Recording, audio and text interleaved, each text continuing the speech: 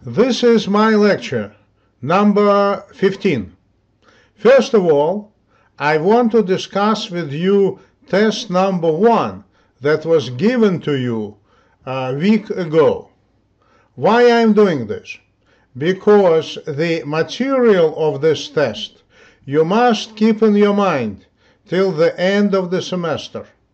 I am considering give you, uh, giving you a similar test also in class because, to be honest, I'm disappointed with the results of test number one.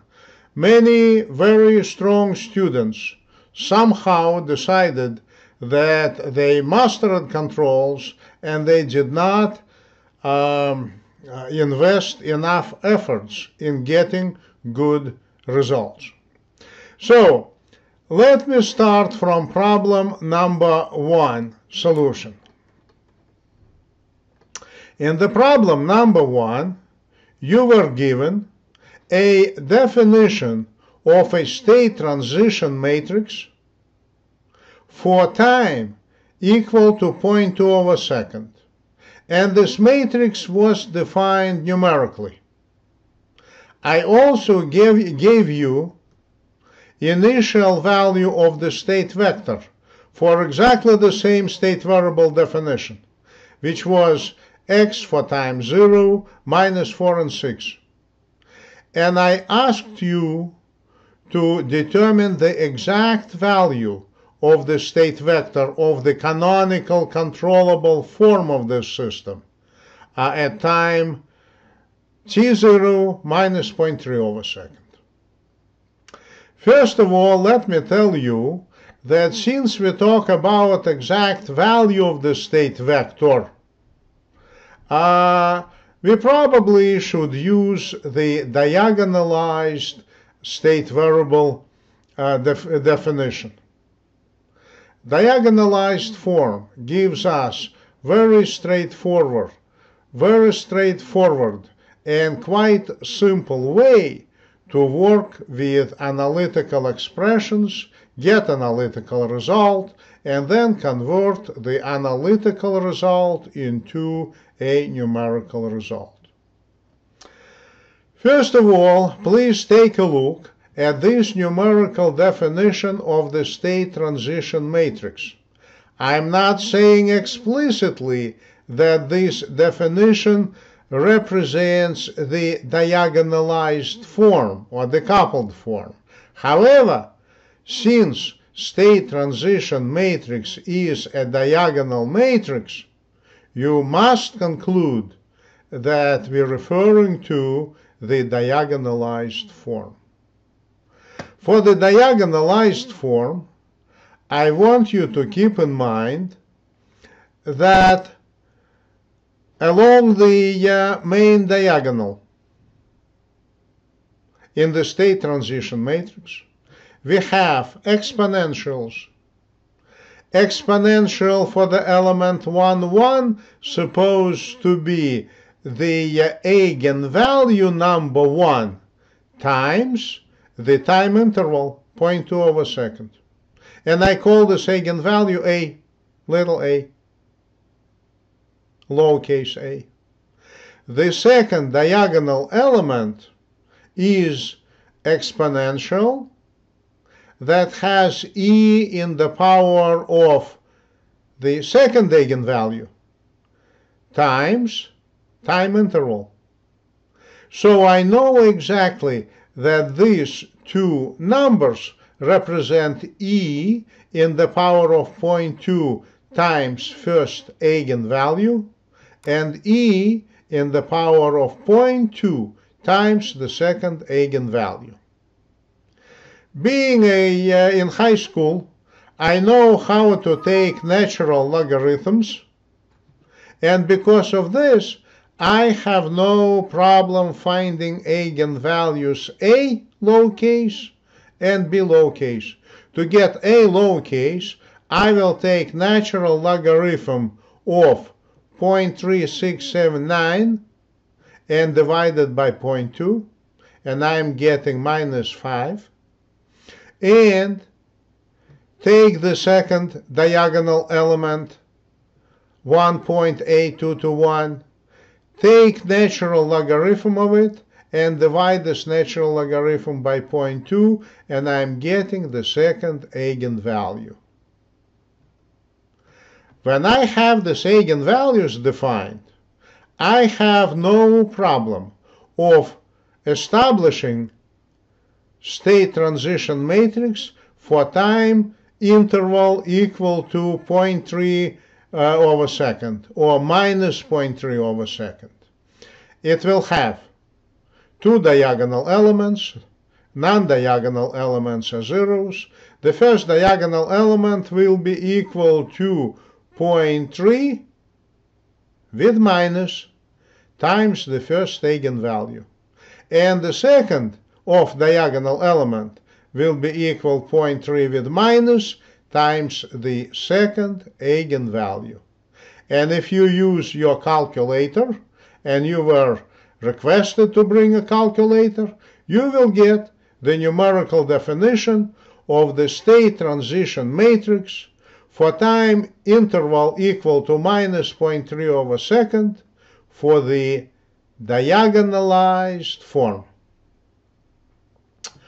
Then you have to realize that I have to produce x of 0 or x for time 0 for the diagonalized form. I don't have it. Therefore, I'm using the numerical definition of the state transition matrix for the diagonalized form for time equal minus 0.3 of a second. I multiply it, post-multiply it, by uh, the value of state vector for the diagonalized form at time t0. And when this multiplication is performed, I'm getting a very uh, accurate result. This is nothing but state vector x for the diagonalized form defined for time t minus 0.3 over second. I have it. The next what I have to do I have to obtain the value of the corresponding value of the state vector of the CCF for time t minus 0.3 over second. I want you to recall that if we convert arbitrary form to diagonalized form, we use special matrix M. And the special matrix M, it is called modal matrix. This matrix is defined through uh, eigenvectors. And it's a real pain to define this matrix through eigenvectors. You remember the procedure. It is not a straightforward and simple procedure. However, if we converting to diagonal form a CCF, then this matrix M is defined much simpler. It has 1 and 1 and 1 and 1 in the first row. The second row has first eigenvalue, second eigenvalue, and so on, third eigenvalue if it's a higher order system. The next row will have first eigenvalue squared, second eigenvalue squared, and so on. Our situation is much simpler. It's a second order system. So I know how to define this matrix M and I do it by inspection. First row has 1 and 1 and the second row has first eigenvalue and the second eigenvalue. This matrix M is the key to getting the required result.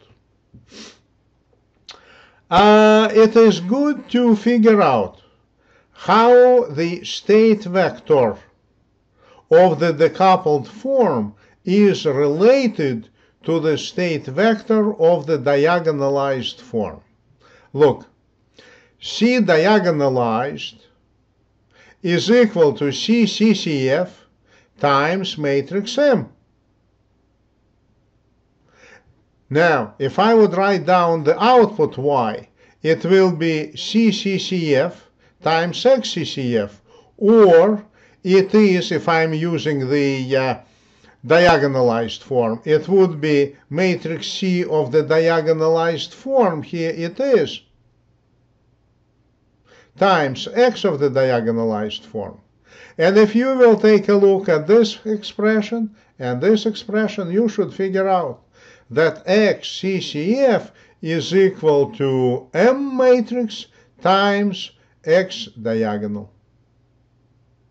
And this is exactly how I will determine the answer to our problem. XCCF at time equal to T0 minus 0.3 over second is equal to matrix M times x diagonal, diagonalized of time minus 0.3 over second.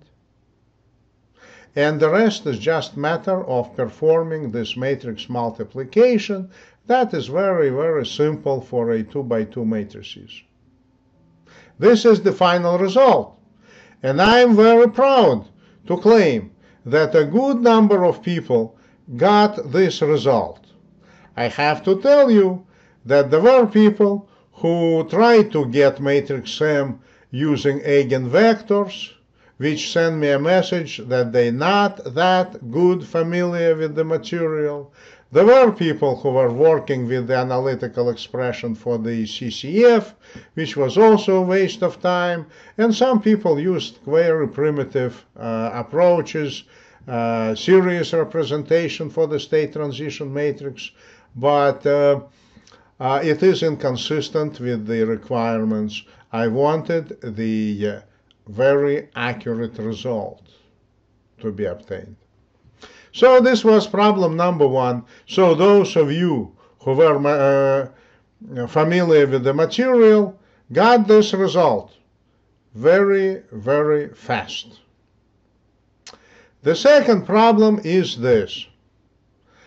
I uh, have for you a configuration of a uh, control system with a state variable controller and a state observer. Now, the system has been designed. Every single component of this system has been established by the designer. And my question to you was, determine flaws in uh, this design. Did not require to determine all flaws, but there were some flaws. You know, some people were telling me that the uh, filter was missing right here in the input of the control plant. Uh, I don't think it's a fault. I have no idea how the designer defined parameters of the elements of the system, but placing this filter serves only one purpose, to simplify the task of defining matrix K. Somehow the designer defined matrix K, and I'm not questioning his approach. I'm questioning only the final result. Several people designed the system and they did not get much credit. When um, I checked their designs, if design was more or less decent, they got like 5 points out of 20 because the question was to find flaws in the existing design. One way or another, I have to tell you this. The key to successful design is the stability and the dynamics of the control loop and stability and dynamics of the estimation process and also statics of the system. These are the key issues. Some people got into the uh, controllability, observability, and they invested some time in investigating controllability, observability, and they did not find that there were any flaws with controllability and observability, but it didn't require too much time. You know, there are two fundamental matrices very important for the uh, operation of this system. The first fundamental matrix is A minus BF matrix. Matrix A minus BF is the one that determines the dynamics and stability of the control loop. A minus BF matrix is shown right here. It wasn't a big deal to compute this matrix, especially since we can work here with the canonical controllable form. It's not a big deal to get this matrix. There are people who would ask me, why canonical controllable form?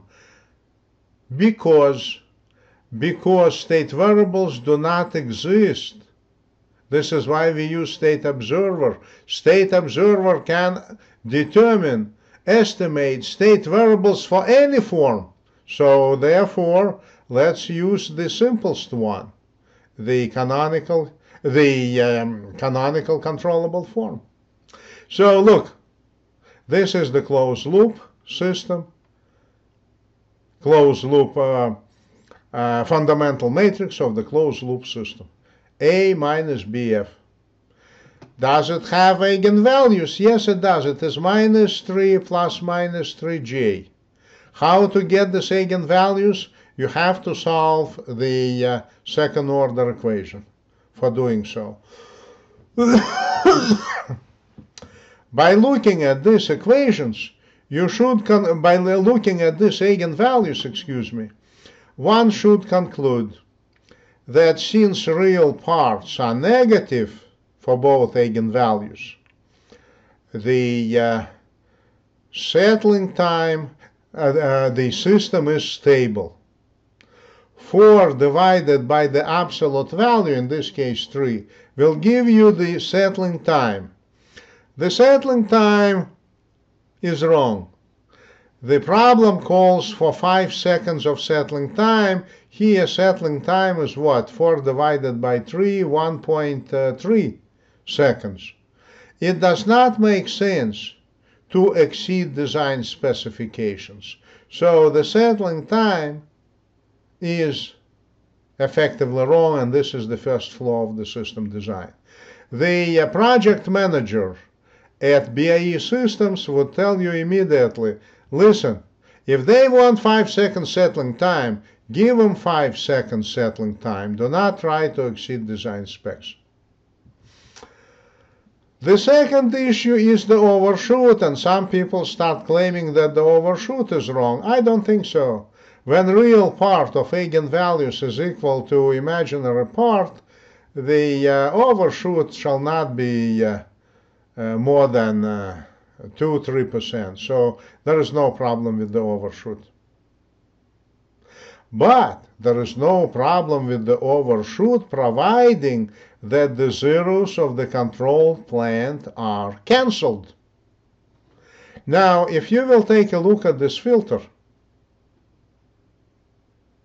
and if you would take a look at the uh, transfer function of the control plant, you should agree with me that the zeros of the control plant are cancelled by this filter in the reference channel.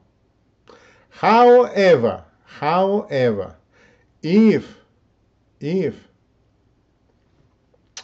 the closed loop system has this fundamental matrix,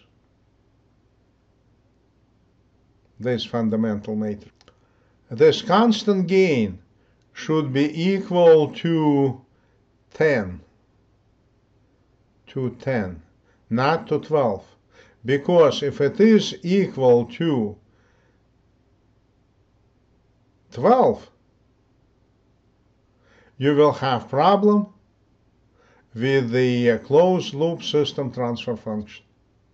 So the second problem is and I define this problem. Um, the second flaw is um, this. If I would build the closed loop transfer function for the control loop, I would call it G closed loop. And if I would replace S by zero in this closed loop transfer function, I am supposed to have value of 1. In this case, if you apply unit step to the input, the system response will converge to the value of 1. So with this constant gain of 12, the G closed loop of 0 will not be equal to 1. And this is the second flaw in the problem. It must be equal to 10. Yeah. Now, the next what I did, I established the fundamental matrix of the estimation process. It is equal to A minus KC. And when I got this matrix, obviously we don't have a uh, uh, convenient CCF configuration here. Nevertheless, it's a 2 by 2, 2 by 2 matrix, so getting eigenvalues is not a big deal. And if you would take eigenvalues of the estimation process fundamental matrix, you will find out that one of two eigenvalues is in the right hand side of the complex plane, which means that the estimation process is unstable. So, having these three flaws would disqualify you from your paycheck from getting your paycheck if you are working in industry. And people made uh, many wild guesses about the flaws, and some person uh, made a very generic statement, yeah, the designer was not a good person, did not do a good job, and so on. I don't buy it. We are technical people, and criticism supposed to be very directed. Problem number three requires you to design a uh, control system with a state variable controller for this controlled plant defined by an arbitrary form. And the only reason people have this arbitrary form is that it corresponds to the uh, natural laws of physics, and therefore one can expect that state variables are accessible. And actually I wrote here state variables are accessible, which means that you can hook uh, sensors and get the state variable signals that you will use for building state variable feedback. The settling time should be 2 seconds, overshoot should be under 3%, evaluate the steady state error, and I also for the step disturbance and the bandwidth of the design system. Now let me show you every step of the design. And you had plenty of examples. I don't know why so many people were having difficulties with this.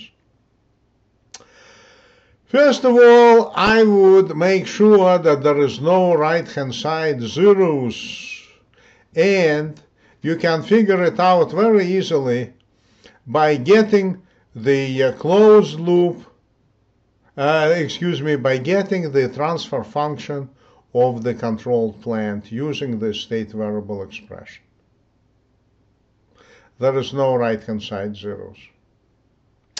You know, getting this closed loop transfer, uh, uh, getting this uh, transfer function for the control plant is also good. It's not wasted time because because it will enable you to build the CCF of the control plant transfer uh, of the control plant definition by inspection, and you know how to do it. The next step unfortunately is a necessary step and it takes some time. You have to build the uh, matrix filter, I would call it P, that converts your arbitrary form into CCF. You will need it.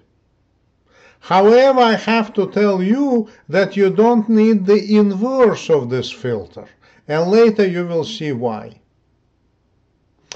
There is nothing new about this, you must remember the procedure, and most of you actually did not have any problem uh, performing these operations. First, we will define matrix Q that is equal to 0, 1, uh, and then you have matrix where first column is B, second column is A times B, and the second matrix, everybody calls it matrix S. We have to raise it in the power of minus 1, invert it, then you take uh, the last row of it, you get matrix Q. When you have, this is computation of matrix AB, that will be this column. okay, uh, this is how you get matrix Q, row matrix.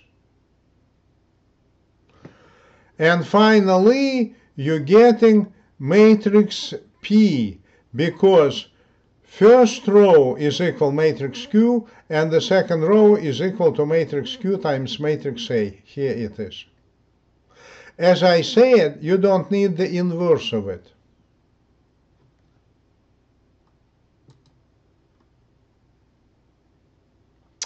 You may ask me why we do not need the inverse.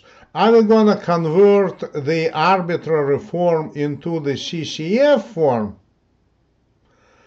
we will convert it, but we don't uh, convert it using matrix P. We already have it written right here. We got it by inspection after getting the equivalent transfer function of the control plant. It does not make sense uh, to obtain ACCF using filter P uh, matrix BCCF, every, everybody knows how BCCF looks like. And CCCF also is related to this numerator. We looked at this numerator of the transfer function of the plan to make sure that there is no right-hand side zeros. So, I feel really sorry for those of you who honestly calculated ACCF, BCCF, and CCCF.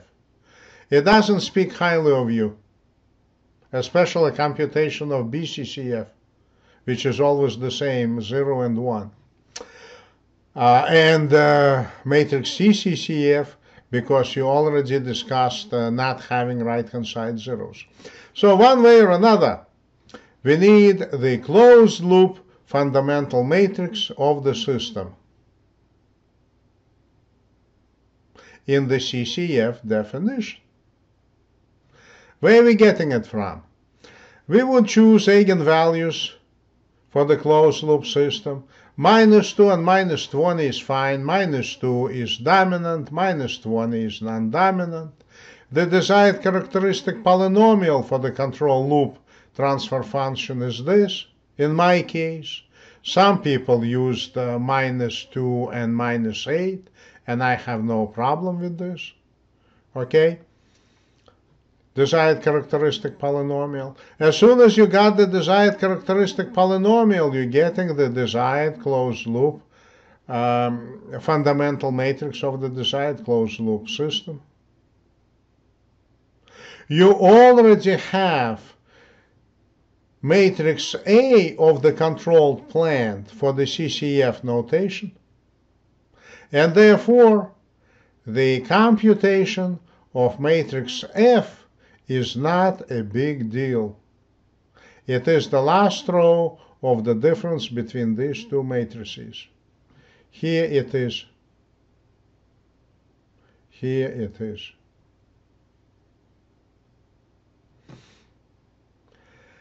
Now it sounds like you already have your controller is established and your state variable feedback now would be matrix F of the CCF times vector X of the CCF, except CCF is a fictitious vector, and therefore FCCF as it is cannot be used in state variable feedback.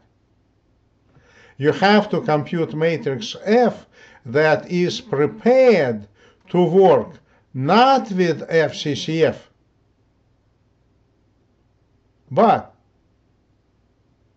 but with X of the arbitrary form and therefore FCCF must be multiplied by matrix P and this is the result that you have. How this filter looks like? I uh, have to tell you that there is a uh, mistake right here. This should be 40.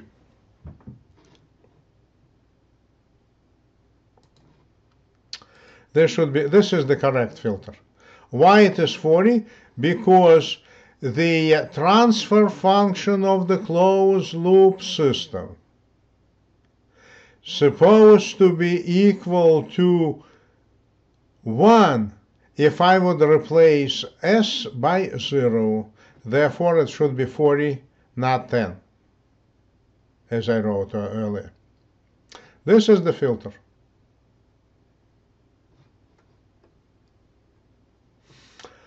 Uh, how to define the steady state error? To define the steady state error, uh, this is the matrix that you have to compute. And I got 0.25. Do you have to do it this way? I don't think so. You know, the um, transfer function of the closed loop system for disturbance error for disturbance input is equal to the numerator of the control plant divided by the desired characteristic polynomial, which will be numerator is 3s plus 10, the desired characteristic polynomial is s squared plus 22s plus 40, so you have 10 over 40, which is 0.25. So this is how you get the error. Did other people get error correctly? Some people did and some people didn't. Okay, um, but formally this is the error definition. And uh, if you want to have a shortcut, you would have to take the uh, characteristic polynomial of the numerator of the plant divided by the, uh, the desired characteristic polynomial of the closed loop system, replace s by 0. In my case, you will get 0.25. How about the system bandwidth? And here, some people were really, really unreasonable.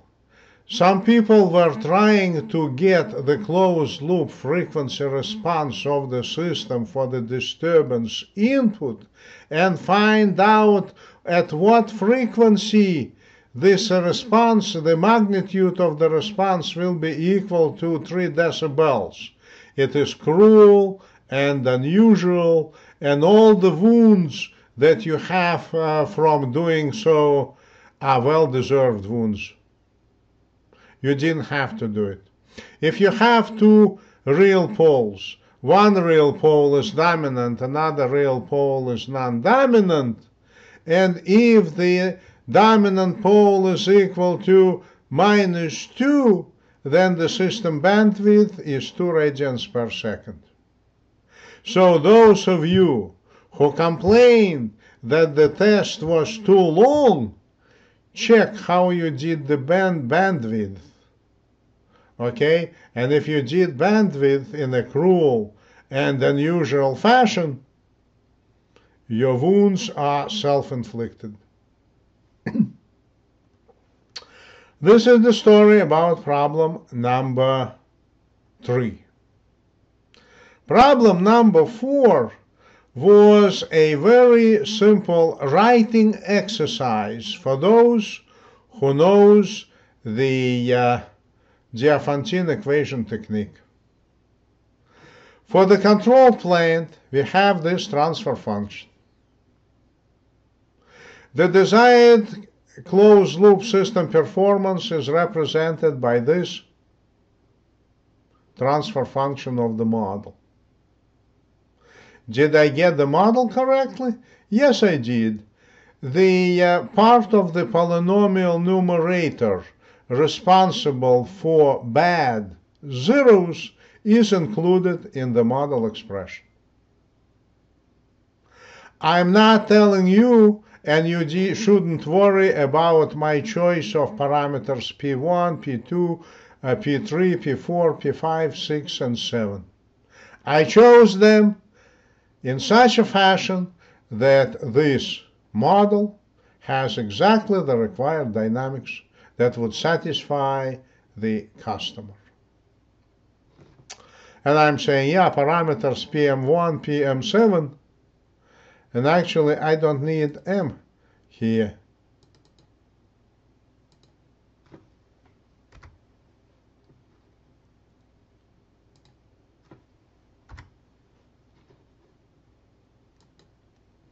parameters uh, P1 through P7 are properly defined, successfully, have been successfully chosen. there is some guessing about order of polynomial A0, and there is a special formula that most people do not remember, including myself. Okay, very simple formula actually that gives you order of polynomial A0. I'm just saying it's a third order polynomial. The third order polynomial, according to the formula that uh, we do not uh, memorize, uh, the order of 3 is acceptable. Polynomial A0 should not have too low of an order. But order, uh, when order is too high for polynomial A0, we have no problem. And then I'm saying define explicit polynomial expressions for transfer functions, for the feedback controller and the filter. And then, to prevent you from committing suicide, I wrote, do not compute numerical values of the parameters.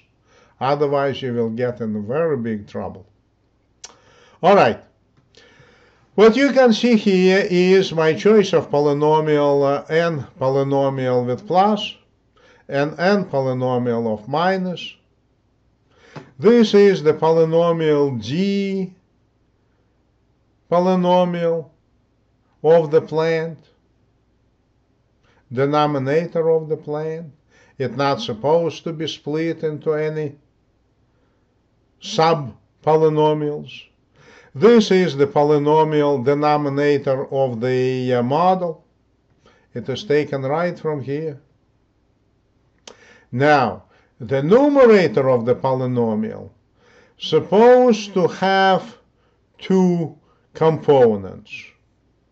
One component is the polynomial of the plant responsible for bad zeros and the second polynomial is the one that designer determines to achieve the desired dynamics of the model. And this polynomial numerator model um, with asterisk is written right here. We call it numerator or part of the uh, polynomial numerator of the model with asterisk. It's right here. I was told that I'm telling you that polynomial A0 is a third order polynomial, and here it is. Please note that polynomial A0 is supposed to have coefficient of 1 for the highest order of S. So S cubed is multiplied by 1. Now, how you choose roots for this polynomial? They're supposed to be non-dominant um, uh, with respect to the dynamics of the controlled, uh, uh, with respect to the dynamics of the closed loop system. The roots of this polynomial supposed to be uh, non-dominant with respect to the dynamics of the closed loop system, as I said.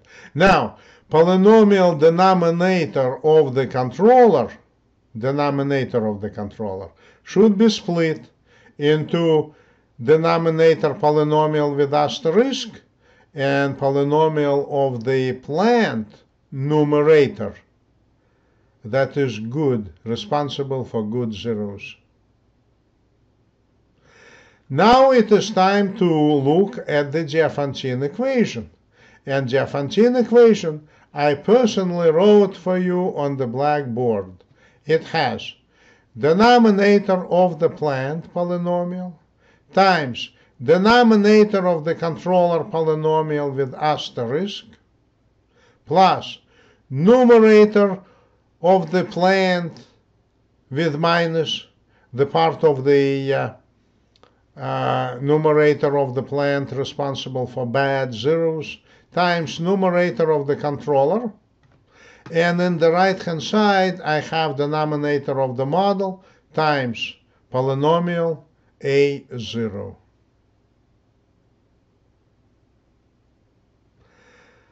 Let me take a look at this part first. Right hand side, look. This is the uh, polynomial of the model times polynomial a0. You should realize that in the right hand side I have polynomial right hand side is a polynomial of order of 9 and also s in the power of 9 must have coefficient equal to 1 in the right hand side. So it is my responsibility to make sure in, that in the left hand side I have polynomial. uh, effectively the same polynomial. Should be polynomial, the order of the polynomial in the left hand side should be 9. Coefficient of s in the power, in the power of 9 must be equal to 1. How can I achieve this? First of all, I want to take care of the polynomial order. In the left-hand side, order must be 9, eh, because in the right-hand side, order is 9. Which means, and also in the left-hand side, coefficient of s in the power of 9 must be equal to 1, like it is in the right-hand side, which means only one thing. That polynomial denominator of the controller GC with asterisk must be a fourth order polynomial because 4 plus 5 give me 9. And also coefficient of s in the power of 4 in this polynomial must be equal to 1. This is my definition of polynomial GC with asterisk. It's a uh, fourth order polynomial and coefficient of s in the power of uh, 9 with this choice of uh, coefficient will be equal to 1. So the configuration of this polynomial is right here. Now, where I will get delta 3, delta 2, delta 1, and delta 0. Where are they coming from? They're coming from achieving appropriate coefficients in the left-hand side that would be equal to the coefficients in the right-hand side of s in the power of 5, of s in the power of 8, s in the power of uh, 7, s in the power of uh, 6, and so on. Now, I would to totally, I would have in total nine equations because I have to have very particular coefficient for s in the power of 8, for s in the power of uh, 7, s in the power of 6, s in the power of uh, 0 eventually. Now, how I'm achieving it? By choosing specific numerical values for the coefficients of polynomial GC with asterisk and polynomial NC. How many coefficients should I have for polynomial NC? Well, look, I have to use one equation for delta 3, one equation for delta 2, one equation for delta 1, one equation for delta 0. I already have four unknowns, but I have nine equations. So look, I should be able to afford only five more unknowns. Five additional unknowns I should be able to determine, which tells me that polynomial numerator of the controller supposed to be fourth order polynomial because it will have one coefficient for s in the power of 4, another coefficient for s cubed, and so on. So I'm effectively done with the controller. In the numerator of the controller, I have polynomial n controller, in the denominator, I have denominator of the controller, but it is equal to part of the numerator of the plant with good zeros, it's right here, and denominator of the controller with asterisk. This is the result. And I actually proud to tell you that there is a number of people who got correct result, which is good. How about the filter? To get the filter, to get the filter, you have to remember the Diophantine equation. The filter has numerator that is equal, part of the numerator of the filter is equal to the polynomial a0. I have it written right here. and another part of the uh, polynomial of the uh, filter is equal to the uh, polynomial of the filter, numerator of the filter with asterisk. It is this one.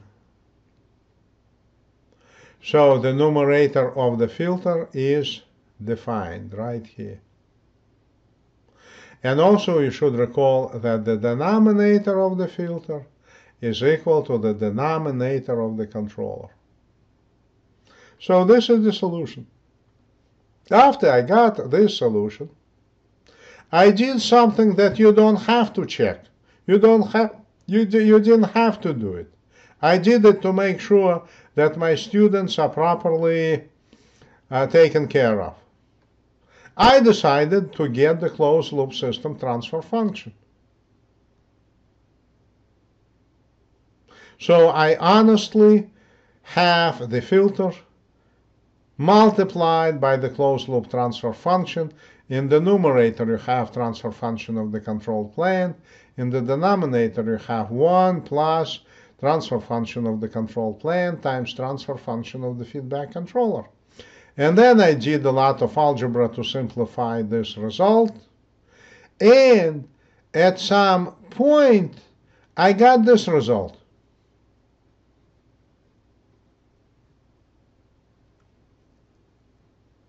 I got this result. But this denominator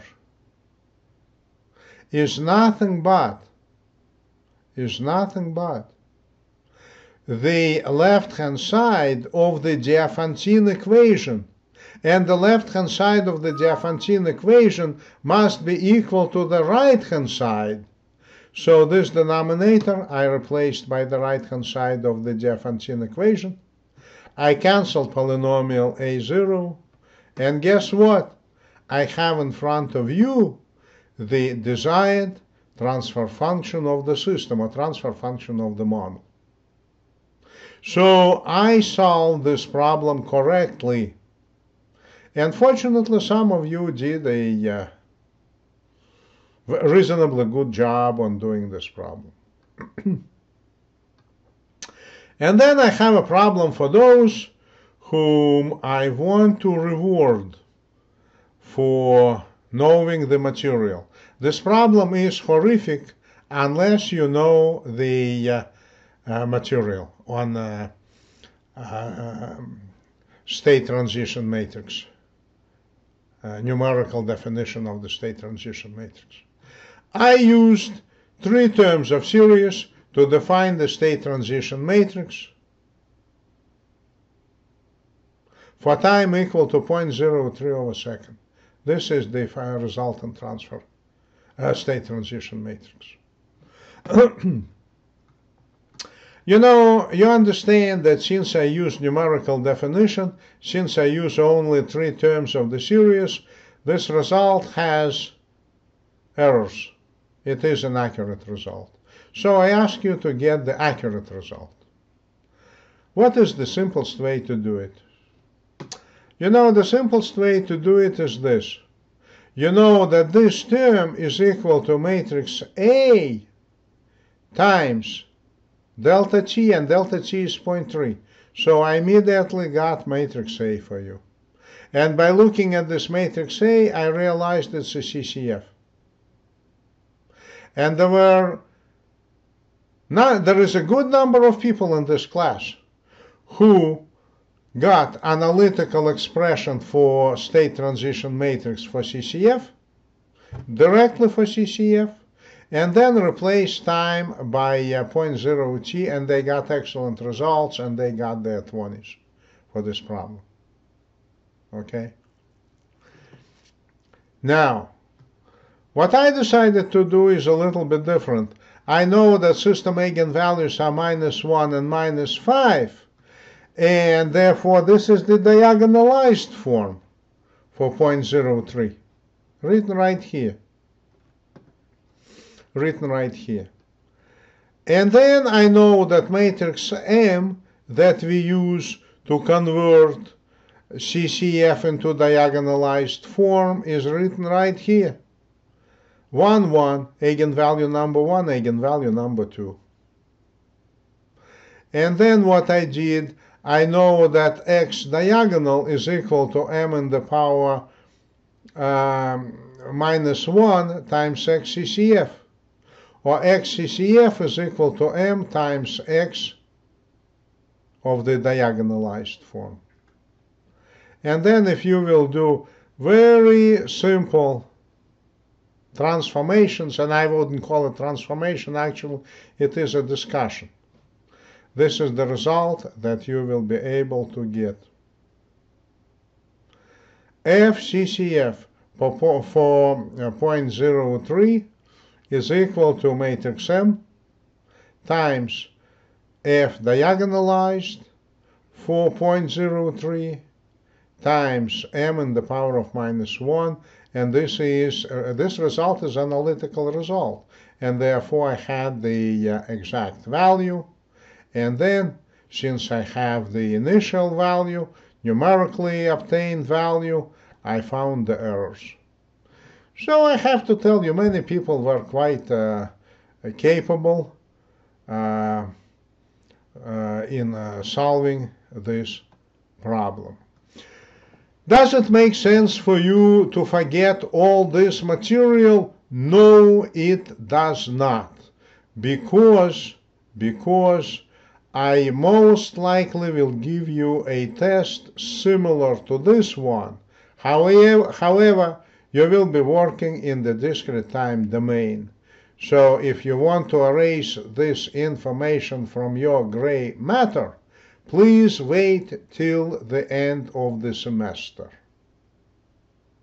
However, you can use this information to impress your interviewers, are you?